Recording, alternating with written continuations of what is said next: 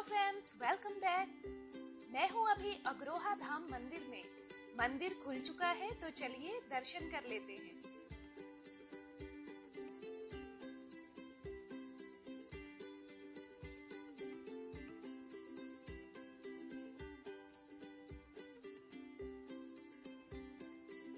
देखिए, ये महालक्ष्मी जी का मंदिर है, और आप दर्शन कीजिए, माता की कितनी सुंदर मूर्ति बनी हुई है।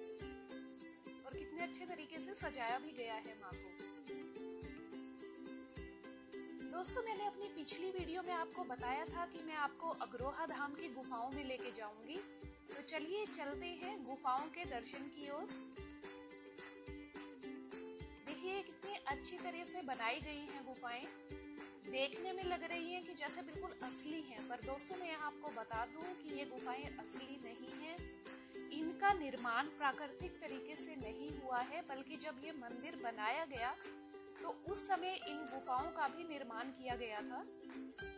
और आगे जाकर जब ये गुफा में हम आगे बढ़ते जाएँगे, तब अंदर जाकर छोटे छोटे मंदिर बने हुए हैं तो चलिए चलते हैं। अभी हम जा रहे हैं अमरनाथ गुफा में।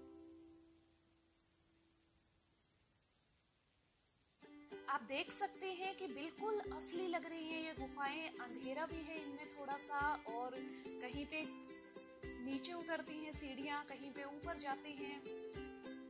देखने में बिल्कुल असली है। धीरे धीरे हम आगे बढ़ रहे हैं और देखिए यहाँ पे आके बिल्कुल अंधेरा आ गया है। हम देखते हैं चल के कि यहाँ पे भोलेनाथ जी की मूर्ति मिलेगी या फिर शिवलिंग होगा तो चलिए आगे बढ़ते हैं। देखिए यहाँ पे है भोलेनाथ जी का शिवलिंग। और आप एक बार दर्शन कर लीजिए, यहाँ पे कुछ और श्रद्धालु भी हैं।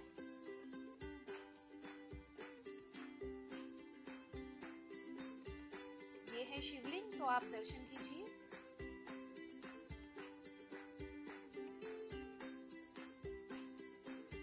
दोस्तों, अब यहाँ पे मैं एक और मंदिर में आ गई हूँ, भोलेनाथ जी के मंदिर से आगे आके। यहाँ पे भी आप भगवान जी के दर्शन कर लीजिए फिर हम आगे बढ़ते हैं।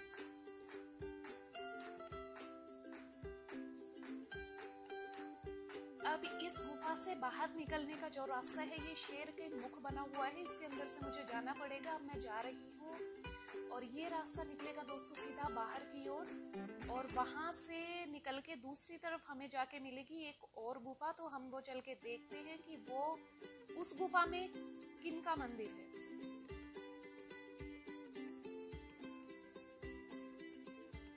दोस्तों देखिए, ये हम जा रहे हैं एक पुल बना हुआ है लकड़ी का, जो हमें दूसरी तरफ़ लेके जाएगा एक और गुफा की ओर। आप देख सकते हैं कि ये बिल्कुल इस तरह से है जैसे पहाड़ों पर होता है, एक पहाड़ से दूसरी तरफ़ हमें जाने के लिए जो लकड़ी के पुल बने होते हैं, ये बिल्कुल वैसा ही बना हुआ है।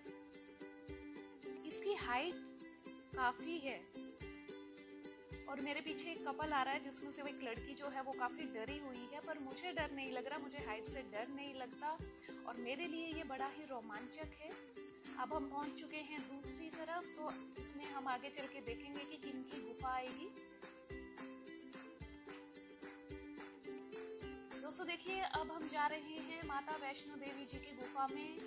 और चलिए, चलते हैं, प्रवेश हमने अभी कर लिया है। ये माता की चरण पादुका यहाँ पे बनाई हुई है। आप एक बार दर्शन कीजिए, फिर हम आगे बढ़ते हैं।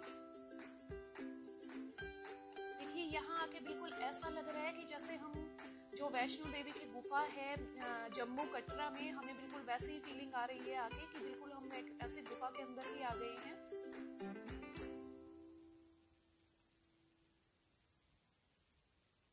देखिए मैं एक बात आपको बताऊँ कि यहाँ पे हर जगह लिखा हुआ है थोड़ी थोड़ी दूरी पे कि आप कैमरे की नज़रों में हैं। तो बिल्कुल सेफ़ है ये जगह यहाँ पे डरने की कोई बात नहीं है।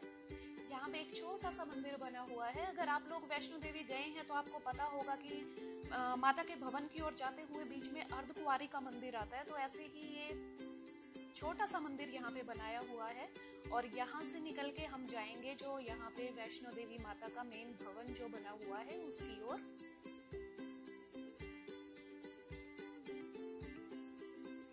यहाँ से दोस्तों नीचे की तरफ़ उतरते हैं। देखिए, बिल्कुल कितना अच्छा ये बना हुआ है। मैं ये सोच के मुझे बड़ी अच्छा सा फील हो रहा है कि किसका आइडिया होगा ये? जब मंदिर का निर्माण हुआ था तो किसने ये आइडिया लगाया होगा कि इस तरह से गुफा बना देते हैं? गुफा के अंदर जाके छोटे छोटे मंदिर बनाएँगे। अमरनाथ गुफा के दर्शन करवा देते हैं। यहाँ पे वैष्णो देवी माता के दर्शन करवा देते हैं। बहुत ही अलग ही नज़ारा है यहाँ का। और ये है माता का भवन। यहाँ से मुझे गुफा में से निकल के जाना होगा। जैसे वैष्णो देवी माता की गुफा में से हम जाते हैं। मेरे अभी आगे अभी यहाँ पे कुछ लोग हैं तो वो निकल जाएँगे तो मैं भी इस गुफा में प्रवेश करूँगी। आप बने रहिए मेरे साथ, दोस्तों, ये बहुत अमेजिंग जगह है। ये देखिए, मैं इस गुफा से जा रही हूँ। आगे पंडित जी बैठे हुए हैं। और देखिए, यहाँ पे तीन पिंड रखे हुए हैं। जैसे वैष्णो देवी जब हम जाते हैं कटरा में तो वहाँ पे जैसे माता की मूर्त न होके तीन पिंड हैं। सेम वैसे ही यहाँ पे भी तीन पिंड हैं। आप दर्शन कर लीजिए। और अभी मुझे पंडित जी ने तिलक भी लगा दिया है, प्रसाद भी मैंने ले लिया है। अब मैं जा रही हूँ बाहर की ओर। ये रास्ता हमें यहाँ से गुफाओं से बाहर लेके जाएगा। दोस्तों कुछ और भी गुफाएँ हैं यहाँ पर पर अभी वहाँ पे बंद है शायद वो छोटे मंदिर जो हैं, और वहाँ पे शायद कुछ काम वाम चल रहा है। तो अभी मैं यहाँ से बाहर निकलती हूँ और आपको लेके जाती हूँ मैं श्री राम जी की जन्म लीला जन्म से मृत्यु तक की घटनाक्रम जहाँ पे दिखाए गए हैं, उस स्थान पर। उनकी झांकियाँ हैं वहाँ पर। देखिए, अब हम आ गए हैं श्री राम जी के जन्म स्थान से लेके मृत्यु तक के घटनाक्रम की, जहाँ पे जानकारी दी गई है। ये यहाँ पे एक ऐसा स्थान बनाया हुआ है, जहाँ पे इनकी झांकियाँ हैं। और आप शुरुआत कीजिए। ये देखिए, यहाँ से होता है उनके जन्म की घटनाक्रम की शुरुआत। मैं आपको बता दूँ, जैसे श्री राम जी के घटनाक्रम को यहाँ पे दिखाया गया है, सेम वैसे ही श्री कृष्ण जी के घटनाक्रम की भी एक जगह है जहाँ पे उनकी झांकियाँ दिखाई देती हैं, पर अभी वो बंद है तो वहाँ पे गार्ड भैया थे, उन्होंने हमें बताया कि वो जगह अभी बंद है। तो आज मैं आपको श्री राम जी की ही जन्म लीला दिखा पाऊँगी। आप देखिए, ये गुरु परिचर्चा, जब वो आश्रम में गए थे शिक्षा दीक्षा लेने के लिए श्री राम जी उस समय की है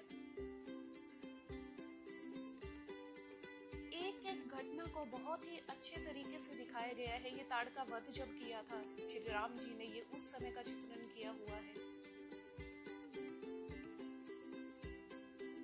ये श्री राम जी और सीता जी का स्वयंवर, जब उन्होंने धनुष जो था उसको तोड़ के और सीता जी के साथ उन्होंने विवाह किया था, ये उस समय का था।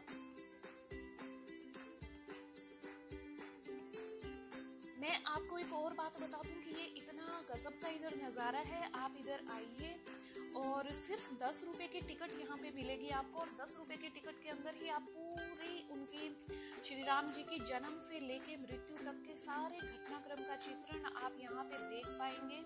और मैं दावे के साथ कह सकती हूँ, आप एक बार इस जगह पे आएँगे तो आपको बहुत अच्छा लगेगा।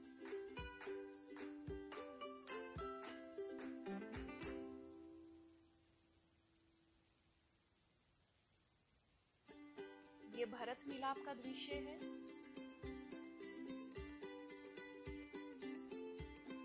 देखिए, एक एक घटनाक्रम है। आपने रामायण टीवी में भी देखी होगी, किताबों में भी पढ़ी होगी तो आपको पता लग जाएगा जाके कि कोई चीज़ उन्होंने नहीं छोड़ी है। उनके जो मेन मेन जो भी घटनाक्रम हुए थे श्री राम जी के जीवन में, वो सब दिखाए गए हैं। ये देखिए, यहाँ पे बाली और सुग्रीव का संग्राम है, पीछे था। जब रावण जो थे वो सीता जी को उठा के लेके जा रहे थे। ये युद्ध का दृश्य है।